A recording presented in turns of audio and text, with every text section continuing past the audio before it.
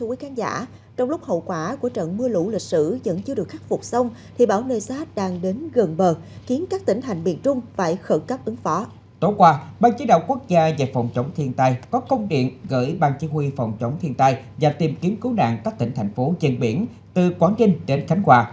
Ban chỉ huy phòng chống thiên tai và tìm kiếm cứu nạn một số bộ ngành liên quan về vị trí hướng di chuyển và một số nội dung để chuẩn bị ứng phó với bão Nesat, cơn bão số 6. Theo bản tin của Trung tâm Dự báo Khí tượng Thủy văn Quốc gia, chiều qua bão Nesas đi vào khu vực Biển Đông và trở thành cơn bão số 6. Rạng sáng nay, vị trí tâm bão cách quần đảo Hoàng Sa khoảng 780 cây số về phía đông đông bắc. Sức gió mạnh nhất vùng gần tâm bão mạnh cấp 11, cấp 12, giật cấp 14.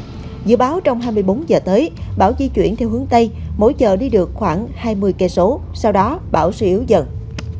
Để chủ động ứng phó, giảm thiểu thiệt hại, ổn định sản xuất khi mưa lũ kéo dài, Giám phòng Thường trực Ban Chỉ đạo Quốc gia về phòng chống thiên tai yêu cầu các tỉnh thành phố theo dõi chặt chẽ bản tin cảnh báo, dự báo và diễn biến của bão, thông báo cho thuyền trưởng, chủ các phương tiện tàu thuyền đang hoạt động trên biển, chủ động phòng tránh và có kế hoạch sản xuất phù hợp, duy trì thông tin liên lạc nhằm xử lý kịp thời các tình huống xấu có thể xảy ra. Theo chuyên gia khí tượng thủy văn quốc gia, Hoàn lưu bão số 6 chịu tác động của khối không khí lạnh từ phía Bắc nên diễn biến rất phức tạp với ba kịch bản khác nhau. Thứ nhất, bão tương tác với không khí lạnh và suy yếu trước khi đi vào chen biển Trung Bộ thành vùng áp thấp hoặc áp thấp nhiệt đới khi đi vào đất liền. Đây là kịch bản có xác suất xảy ra cao nhất. Kịch bản thứ hai cũng là kịch bản xấu nhất. Khi bão di chuyển đến phía nam đảo Hải Nam Trung Quốc, đi thẳng vào miền Trung, cường độ không giảm chiều ở mức cấp 9, cấp 10.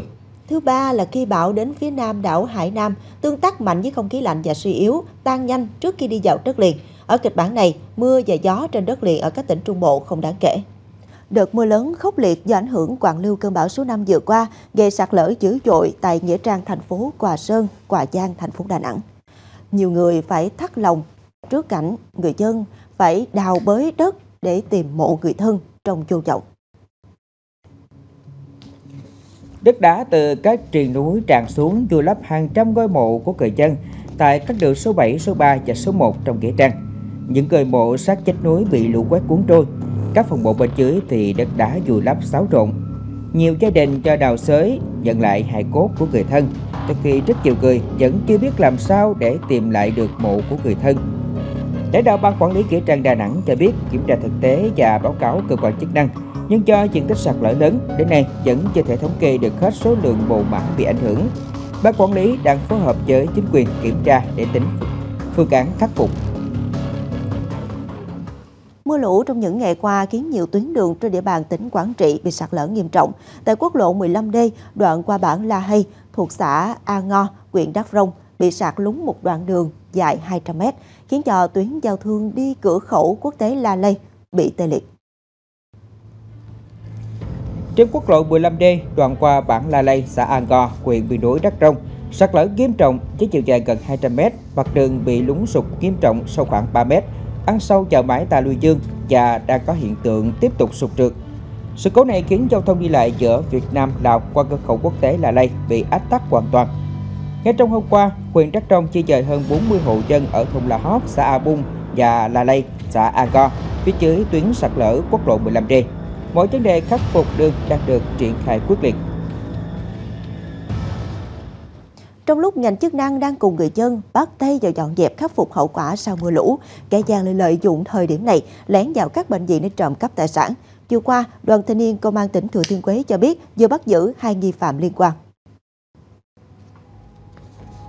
Sáng qua, đoàn thanh niên công an tỉnh Thừa Thiên Huế phối hợp đoàn thanh niên và phòng bảo vệ bệnh viện Trung ương Huế, công an phường Chỉnh Đinh bắt giữ Phan Quốc Động 32 tuổi trú huyện Quảng Điền khi đối tượng đang thực hiện hành vi trộm cắp tài sản.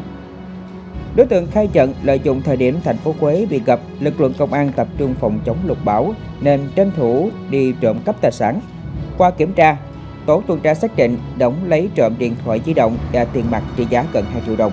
Trước đó 3 ngày, tổ tuần tra bắt giữ Võ Thị Thúy, 38 tuổi, trú xã An Phước, huyện Long Thành, tỉnh Đồng Nai, khi người này đang trộm cắp tài sản trong bệnh viện Trung ương Quế. Đối tượng đóng giả bệnh nhân khi phát hiện các bệnh nhân lớn tuổi không có người nhà đi cùng thì tiếp cận dẫn bệnh nhân đi làm các thủ tục hay xét nghiệm, sau đó đề nghị đưa tài sản giữ hộ và bỏ trốn. Với thủ đoạn này, đối tượng gây ra 5 vụ trộm tại nhiều bệnh viện khác.